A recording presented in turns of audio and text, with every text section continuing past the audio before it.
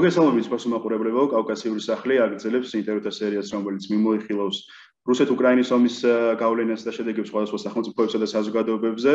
დღეს ჩვენი ინტერვიუს თემა იქნება რუსეთ-უკრაინის ომის ეკონომიკური შედეგები ზოგადად გლობალურ საავადმყოფო ქსელზე და იმაზე ვისაუბრებთ თუ რამდენად ეფექტური არის დაწესებული სანქციები დასავლეთის ევროპისა და ამერიკის შეერთებული შტატების მიერ. ამ თემაზე სასაუბრო დღეს ჩვენ მოვუწევთ ბატონი ლადო პაპავა, ბატონი ლადო არის ეკონომიკურ მეცნიერებათა დოქტორი, საქართველოს მეცნიერებათა ეროვნული აკადემიის აკადემიკოსი. მას გამოქვეყნებული აქვს 30-ზე მეტი წიგნი და მონოგრაფია და 400-ზე მეტი სამეცნიერო სტატია. ბატონი ლადო ასევე 1993 წლიდან 2000 წლამდე იყო საქართველოს ეკონომიკის მინისტრი. შესაბამისად, ჩვენთვის ძალიან დიდი პატივია ბატონი ლადო თქვენთან საუბარი. მადლობა კიდევ ერთხელ რომ დავთქვით ინტერვიუზე. მადლობა, მადლობა მოწვევისთვის.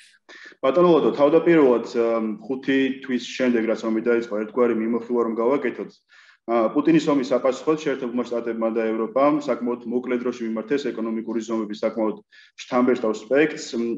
ერთგვარი მიმოხილვისთვის რა მთავარი ეკონომიკური სანქციები იქნა შემოღებული რუსეთის წინააღმდეგ და რომელ ეკონომიკურ აქტორებზე იყვნენ ისინი ძირითადად მიმართული? ეს მართლაც მნიშვნელოვანი შეკითხვაა, რადგანაც როცა ეკონომიკაზე ვლაპარაკობ, ჩვენ უნდა გვახსოვდეს, რომ რუსეთის ომი უკრაინაში დაიწყო მაშინ, როდესაც ჯერ კიდევ COVID-19-ის პანდემია დასრულებული არ იყო. რომელსაც თავისი საკმაოდ სერიოზული არყოფითი ზეგავლენა ექონია სოფლიო ეკონომიკაზე, რომელიც უმთავრესად გამოიხატა მიწოდების გლობალური ჯაჭვების რღვევაში. 24 თებერვლიდან დაწყებულმა ომმა კი სიტუაცია ბევრად უფრო დაამძინა. რატომ ერთი მხრივ ამ ომმა ეკონომიკური ბრუნვიდან ამოაგდო უკრაინა ამოაგდო რუსეთი, ხოლო რუსეთის წინააღმდეგ დაწესებულმა სანქციებმა, უბრალოდ რუსეთის და კარგული აზრით ბელორუსის წინააღმდეგ დაწესებულმა სანქციებმა პრაქტიკულად გლობალური მიწოდებების ჯაჭვიდან ამოაგდო კიდევ სამი ქვეყანა. უკრაინა, რუსეთი და ბელორუსი. ამან რა თქმა უნდა ძალიან სერიოზული მნიშვნელობა იქონია ეკონომიკურ ვითარებაზე და პრაქტიკულად შეიძლება ითქვას, რომ სოფლო განიცდი არის ეკონომიკური კრიზისის მდგომარეობაში. ახლა რა შეეხება რა ტიპის სანქციები იქნა შემოღებული? სანქციები შემოღებული იქნა ფინანსურ სექტორზე, რომ პრაქტიკულად რუსული ბანკების მნიშვნელოვანი ნაწილი, თუმცა არა ყველა, ამოგდებული იქნა SWIFT-ის რეჟიმიდან. SWIFT-ის სისტემა არის სადაც არის საბანკო კომუნიკაციები, რომელიც ძალიან მნიშვნელოვანია საბანკო გადარიცხვებისთვის. აგრეთვე შემოღებული იქნა სხვადასხვა შეზღუდვები რუსული პროდუქციის შეძენაზე. რუსეთი დატოვა არაერთმა ამერიკულმა და ტრანსნაციონალურმა კორპორაციებმა თქმა წარმომადგენლობა. რუსეთიდან გავიდა, რუსეთიდან და ბელორუსიდანაც გავიდა ევროპის რეკონსტრუქციის და განვითარების ბანკი, რაც ასევე მნიშვნელოვანი არის. და რუსეთზე დაწესდა შეზღუდვა ისეთ საგნების ვაჭრობაზე, როგორც არის ნახევარგამტარების მიწოდება. ხოლო თანამედროვე მთელი ტექნიკა, ტექნოლოგია, როგორც თავდაცვაში, თავდაცვის თავდაცვა მინისტროს ქვედანაყოფებისთვის, შეესამხედრო შეერაღებისთვის და არა მარტო სამხედრო შეერაღებისთვის, დღეს ნახევარგამტარები ეს ერთ-ერთი მნიშვნელოვანი კომპონენტია.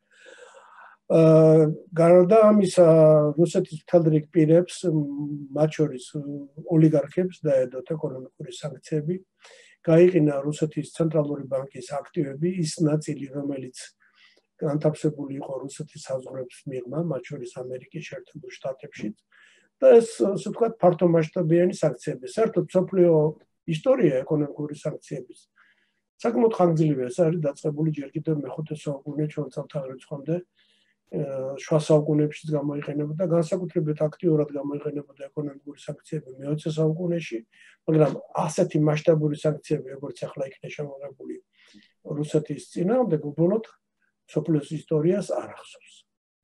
და თანაც ეს სანქციები არ ყოფილა ერთჯერადაც შემოღებული, არის ასე ვთქვათ, რამდენიმე ტალღა, ყოველ ტალღაზე სანქციები კიდევ უფრო მომდება და კიდევ უფრო ძინდება. თქვენ ასევე კითხვაში კითხვა თქვენ კითხვაში ასევე საკითხი შეეხებოდა ამ სანქციების ეფექტიანობას. აი აქი სერიოზული კითხვებია. ამ სანქციებს აქვს ორი დიდი ხვრელი. რაც უნდა ჩვენ გვახსოვდეს. პირველი ხვრელი არის, რომ თვითონ სანქციების შემოღები ქვეყნები ამ სანქციებს სრულად არ უერთებიან. რას გულისხმობ? ეს უცინარის ყოვლისა ეხება ევროკავშირის ქვეყნების დიდ უმრავლესობას, რომლებიც სანქციების შეუერთდნენ, თვითონაც შემოიღეს სანქციები, მაგრამ ამ სანქციებს არ აღწელებენ ნავთობის რუსულ ნავთობსა და გაზზე. რატომ? იმიტომ რომ სამწუხაროდ საბჭოთა კავშირის დარგრევის შემდეგ დასავლეთმა დაიჯერა ზღაპარი იმის შესახებ თითქოს ცივი ომი დასრულდა და რუსეთი დაადგა დემოკრატიული განვითარების გზას, რაც სინამდვილეში არ იყო მართალი. როგორც კი მსოფლიო ბაზარზე ნავთობის ფასებმა დაიწყო მატება და რუსეთს გაუჩნდა დამატებითი ფული, ის უკვე აღარ მალავდა თავის აგრესიას, გაიხსენოთ ჩეჩნეთის მეორე ომი, გაიხსენოთ რუსეთის აგრესია საქართველოსზე ომი 2008 წლის აგვისტოში. ასე რომ რუსეთის სულაც არ ყოფილა ის ქვეყანა რომელმაც დაამთავრა ცივი ომი, ცივი ომი გაგრძელდა როგორც კი რუსეთმა ფინანსური რესურსები იშოვა და ცხელომში და გადააზარდა ჯერ საქართველოში, ამჟამად უკრაინაში. მაგრამ დასავლეთმა რომ დაიჯერა რომ ცივი ომი დასრულდა, ამიტომ მიება რუსულ ენერგეტიკულ რესურსებს. განსაკუთრებით ასე მასში აღმოჩნდა ევროპის ეკონომიკის ლოკომოტივი გერმანია. და გამოვიდა ასეთი უცნაური სიტუაცია.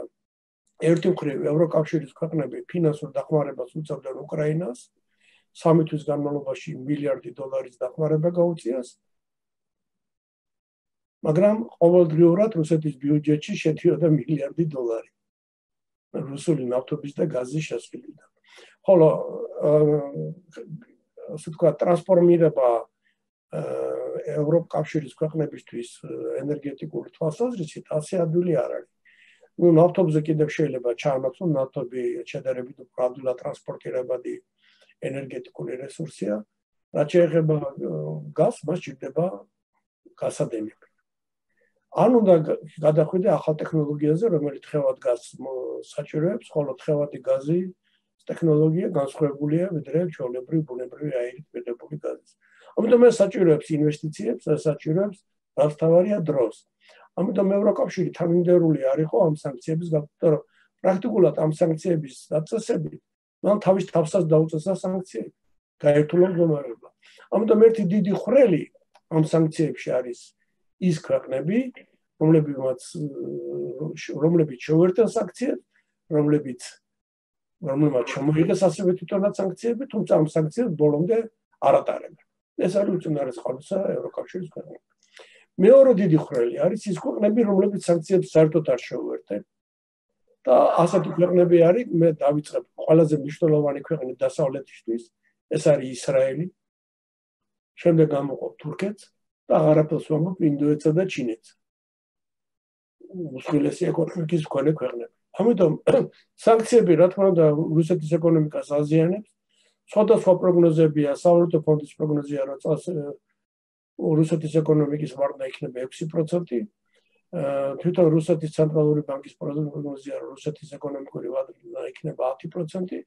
თუმცა არის უფრო მკაცრი პროგნოზები სხვადასხვა ეკონომისტების დასავლეთიდან, რომელიც თვლიან, რომ რუსეთში ვარნა იქნება 20-25%-იანი.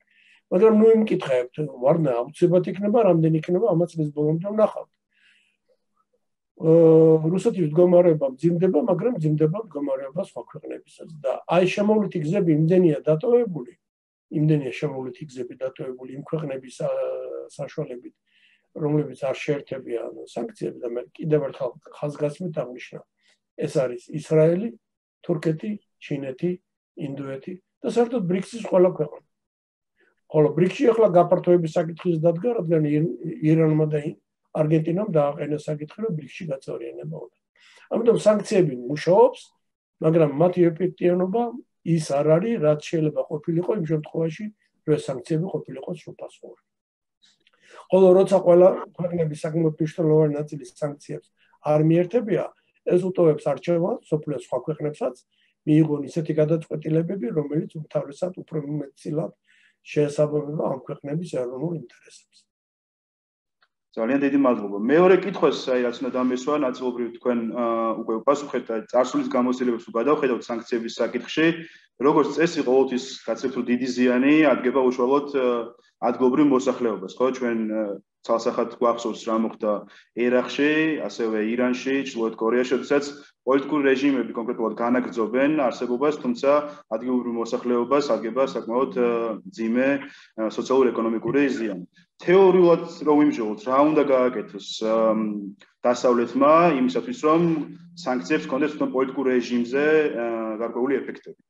იცით, ეს პრაქტიკულად მოსახლეობის გამორიცხვა შეუძლებელია. ხო, ზიანდება თვითონ რუსეთის მოსახლეობაც, ადგილობრივი რიგითი მოქალაქეები, ზიანდება თვითონ სანქციების დამწესებელი ქვეყნების მოქალაქეები თუ ამერიკაში მაგალითად ერთი გალონი бенზინი ღირდა 2 დოლარი და 15 ცენტი, ახლა ის 6 დოლარზე მეტია.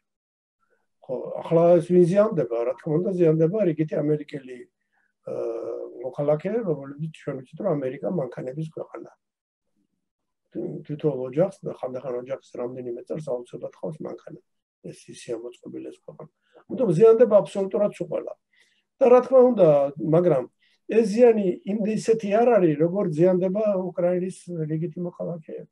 თუნდა გვაიტყობა, რომ 16 მილიონი ადამიანი მოწყდა თავის ალკარს, ზოგიც დაღუპულია, იღუპებიან ბავშვები, იღუპებიან ლეგიტიმო ადამიანები, იღუპებიან დაჭრილები სამონტყოფოებში, იღუპებიან მედპერსონალი, დაიბომბა უნივერსიტეტები, დაიბომბა სკოლები, დაიბომბა ეკლესიები, დაიბომბა მეჩეთი, რაზეა საერთოდ საუბარი.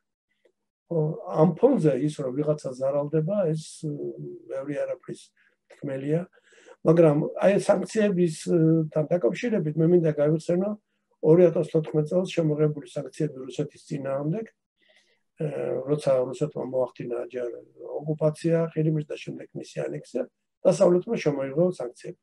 ის სმენელის საგონად 2008 წლის ომის შემდეგ დასავლეთს არ შემოუღია სანქციები რუსეთის ძინავდა იმ ომისთან დაკავშირებით რომელიც რუსეთმა წარმოა საქართველოში რომლის შედეგადაც საქართველოს 20% ოკუპირებულია და ხდება მისი მწოცავი ანექსი. აი 2014 შემდეგ შემოიღო სანქციები. მაგრამ ეს სანქციები არ იყო მასშტაბური და რუსეთმა ძალიან ადვილად აიცილა ამ სანქციების თელირიგი პრობლემები. და მექანიზმი იყო ძალიან მარტივი. იმიტომ რომ რუსეთმა 2015 წელს შექმნა ყაზახეთთან ერთად ევრაზიული ეკონომიკური კავშირი, რომელშიც შედიოდა რუსეთის და ყაზახეთის გარდა ბელარუსი და ყირგიზეთი, შემდეგ შეუერთა სომხეთიც. ეს ქვეყნები რუსეთის გარდა სანქციებს არ ექვემდებარებოდა. ხოლო ევრაზიული ეკონომიკური კავშირი ნიშნავს უჟო ვაჭრობას. ანუ პრაქტიკულად ერთიანი ეკონომიკური სივრცე იყო და ის ქვეყნები, რომელიც სანქციებს არ ექვემდებარებოდა, იმ ქვეყნებიდან სანქციონებული პროდუქცია ყოველგვარი პრობლემის გარეშე გადადიოდა რუსეთის ბაზარზე.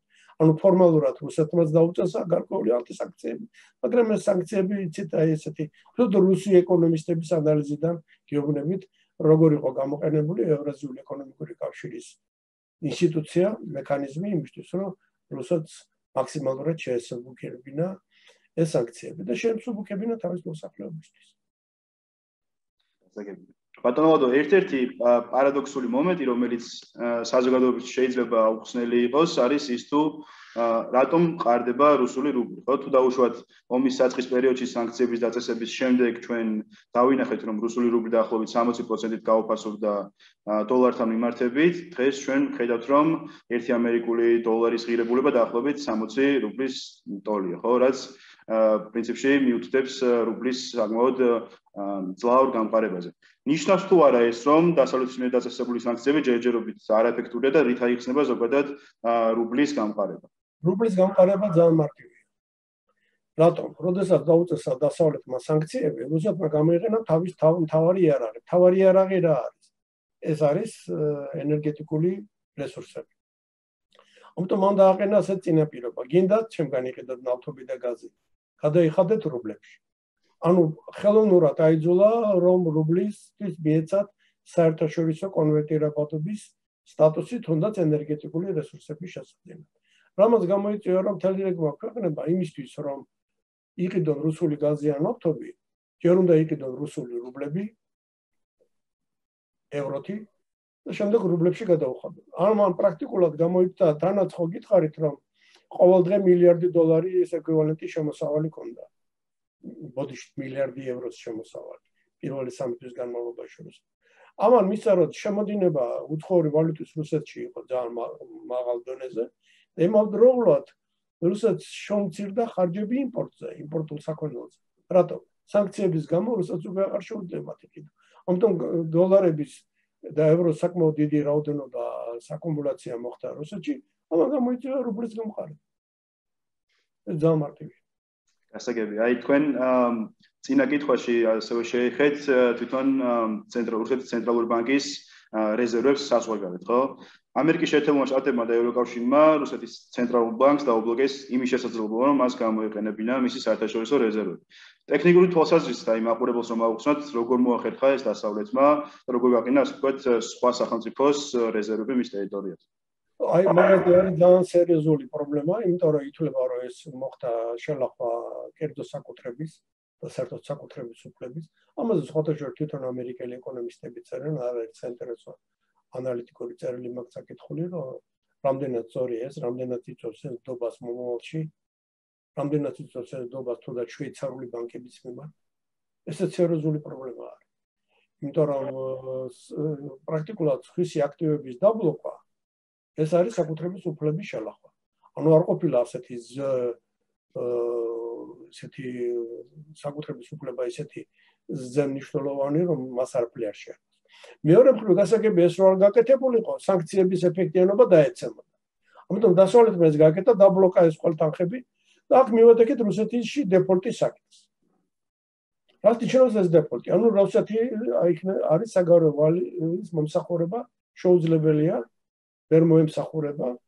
და რა თქმა უნდა ეს ამას აქ ჯოხს აქ ორი ბოლო. ვიზარალდება ამ შემთხვევაში? უფრო მეტად დასავლეთი ვიდრე რუსეთი. და რატო? დეფოლტის გამოცხადების შემთხვევაში რომელიც ქვეყანა აცხადებს დეფოლტს მის მიმართ დობას კარგავენ ინვესტორები. და ამ ქვეყანას განვითარება პრაქტიკულად შეუძლებელია მაგრამ რუსეთის მიმართ დეფოლტის გარეშეც დაკარგეს ინვესტორებად დობა ხო, იმიტომ რომ სანქციებია დაწესებული, იმიტომ რომ რუსეთი აგრესორი ქვეყანაა. ანუ ინვესტორების საინვესტიციო მიმზიდველობის შემცირება ის საფრთხე რუსეთს არ ემუქრება. ის ისედაც აშკარად შემცირებულია. ახლა გადავხედოთ ჯოხის მეორე ბოლოზე გავიდეთ. ჯოხის მეორე ბოლოში არის დასავლეთი, რომელსაც უნდა მოემსახუროს რუსეთი საგარეო ვალების ზოგი დაფარვის, ზოგი მომსახურების თვალსაზრისით. თუ დეპორტია გამოცხადებული, ზარალდება ის, ვისაც რუსეთმა უნდა გადაუხადოს. ანუ ეს დეპორტი არ არის მოძრაობა ერთი მიმართულებით, დეპორტი ორი ორი მიმართულებით არის. რა თქმა უნდა, რუსეთისთვის ცუდია, მაგრამ მე ვფიქრობ და არა მარტო მე არამედ ამას სხვა ეკონომისტები წერენ, კიდევ უფრო ცუდია დასავლეთისთვის, რადგანაც ეს დეპორტი პრაქტიკულად აზარალებს იმათ, ვისაც რუსეთისგან თანხები ქონდა მისაღები. იქნება ეს სახელმწიფოები, კერძო კომპანიები და საერთაშორისო ორგანიზაციები. ძალიან საინტერესო არის. ჩემი შემდეგი კითხვა ეხება უბრალოდ გლობალურ სავაჭრო ქსელს. არ მინდა ეხება ამის შემეშობოს და ასე რომ მიუყვები უბრალოდ სტატისტიკას. რუსეთი არის სოფლიოს სიდით მესამე ნავთობის მწარმოებელი ქვეყანა, მეორეა ბუნებრივი აირის წარმოების კუთხით. ტოპ 5 სახელმწიფოში შედის ალუმინის, ნიკელისა და ფოლადის წარმოების მხრივ. ამასთანავე ყველაზე დიდი ხორბლის ექსპორტიორია სოფლიოში. ხო თითქმის საერთო ხორბლის ასე ვთქვათ 20%-ს 20%-ს წარმოებას ახდენს. ამავდროულად უკრაინა არის სიმინდის, ხორბლისა და მზესუმზის ერთ-ერთი უდიდესი მწარმოებელი. ბოლო ტენდენციების გათვალისწინებით, რა საფრთხეები ემუქრება გლობალურ საოჯო ქსელს და სოფლის რომელ რეგიონებში და რომელი რეგიონები დაზარალდებიან ყველაზე მეტად და ყველაზე ნაკლებად. თან მნიშვნელოვანი კითხვა, ეს ის კითხვებია, რომელიც აღავლებს თან სოფლიოს და ეს ის კითხვებია, რომელზეც სრულფასოვანი პასუხები უბოლოდ არ არსებობს. შევეცდები ვისაუბრო ამ საკითხზე უფრო დეტალურად. დავიწყოთ რომ დღეს სოფლიოში მარტო ერთი ომი კი არ მიდის ომი რუსეთის ომი უკრაინაში. კიდევ ორი ომი მიმდინარეობს. მეორე ომს ქვია ენერგეტიკული ომი. ხოლო მე უბრალოდ ასე ეძახიან oil war ნავთობის ომი. და მესამე ომი არის war სასურსათო ანუ დღეს სოფლიოში სამი ომი მიმდინარეობს. ერთი არის ცხელი მეორე არის ცივი ომის პერიოდი რას ნიშნავს ახლა ენერგეტიკული ომი ანუ ნავთობის ომი ეს ნიშნავს იმას, რომ თუ რუსეთიდან ავტობს არ ხეთულობ, ნავთობის მიწოდება მცირდება, ავტობის მიწოდება მცირდება, ნავთობის ზაფასები იზრდება. რა თქმა უნდა, სხვა ნავთობ წარმოებულ კომპანიებისთვის ეს კარგია. იგივე არაბული სამყაროს ქვეყნებისთვის ეს დამატებითი შემოსავალი. და ნავთობის ენერგი ექსპორტიორი ქვეყნები დიდად არ ცდილობენ რომ ექსპორტი გაზარდონ, რადგანაც ისინი პრაქტიკულად იმავე მეთოდებით იღებენ ბევრად უფრო მეტ შემოსავალს. და რა თქმა უნდა, როდესაც ძირდება ენერგეტიკული პროდუქცია, საბჭოებს თელეკონომიკას. და დღეს ინფლაცია არის ნომერ პირველი პრობლემა თელსოფლიოში. ეს არ არის რომელიმე ქვეყნის პრობლემა. ეს არ არის მარტო ამერიკის პრობლემა. ეს არ არის ევროკავშირის. ეს არ არის საქართველოს პრობლემა. ეს არის გლობალური პრობლემა, რომელიც დაიწყო პანდემიით. გახსოვთ, ჩემი დღევანდელი საუბარი თქვენთან დაიწყო პანდემიით. როცა მიწოდების გლობალური ჯაჭვები მოერგვა, მიწოდება შემცირდა და ამან გამოიწვია ინფლაცია. ახლა დაემატა ნავთობის ომი. უნებრივი ენერგეტიკული რესურსის მიწოდების შემცირება და მისმა გაძვირებამ გამოიწვია ფასების და ეს არის გლობალური პრობლემა. რაც შეეხება მეორე პრობლემას, ეს არის სასურსათო ომი.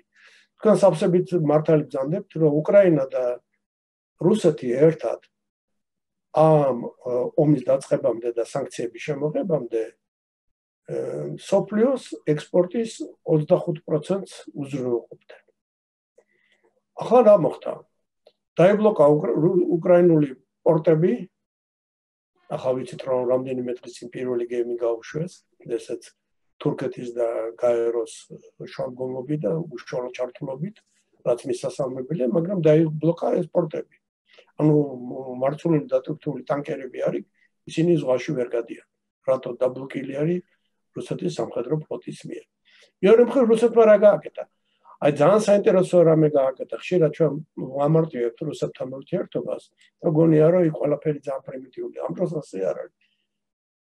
2014 წელს ყირიმის ანექსიის შემდეგ, როცა შემოვიდა გლობალური სანქციები შემოიღეს რუსეთის წინააღმდეგ, რუსეთმა ფოკუსირება გააკეთა თავის ეკონომიკური პოლიტიკის მარცვლეული წარმოების დაზე. კერძოდ ხორბლის წარმოების დაზე.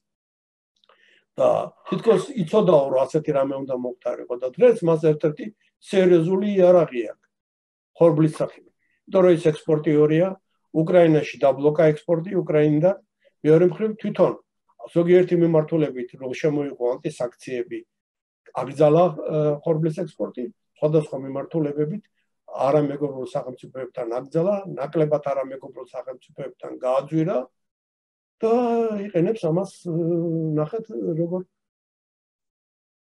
ღარიბ ქვეყნებში სადაც ძირითადი საკვების პროდუქტი არის ყველაზე ყუათიანი პროდუქტი და ყველაზე იაფი არის პური პურის მიწოდების შემცირებით ფასები იზრდება ანუ ვის ურთავს ეს ეს ურთავს პირველ რიგში მესამე სამყაროს ქვეყნებს ეს იწვევს პოლიტიკურ არასტაბილურობას სოფლიო ძალიან ბევრ ქვეყანაში და თავის ტკივილი ვის იქნება ყველა განვითარებული ქვეყნის.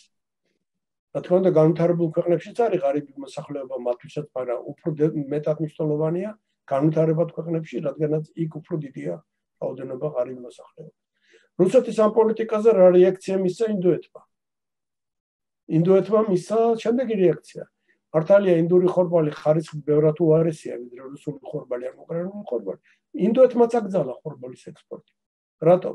იმიტომ რომ მრავალრიცხოვანი ინდოეთში ასევე შიმშილის პრობლემა შეიძლება დადგეს და ინდოეთიც უფრთხილდება ხოლმე. ამან გამოიწვია ძალიან სერიოზული პრობლემები. რა თქმა უნდა, ის რომ უკრაინას მიეცა საშუალება ახლა ერთი გემი გაუშვეს და იმედია რომ სხვა გემებსაც გაუშვებენ რომ მოხდეს ექსპორტი. ეს ძირითადად ეს კარგია, მაგრამ ძირითადად პრობლემას ვერ გადაწყვეტს. და კიდევ ერთი პრობლემა, რა დაემართება უკრაინას გაისად. იმიტომ რომ რამდენად გამოიყენებს უკრაინა თავის მიწებს ხობლის მოსაყვანად. თუ ხშირად ეს მიწები სავარგულები არის დანაღმული, რომელიც განაღმოს არაერთი წელი დაშიდება. ამიტომ არ არის გამორიცხული თვითონ შიმშილის პრობლემა დაგმოდგეს უკრაინას.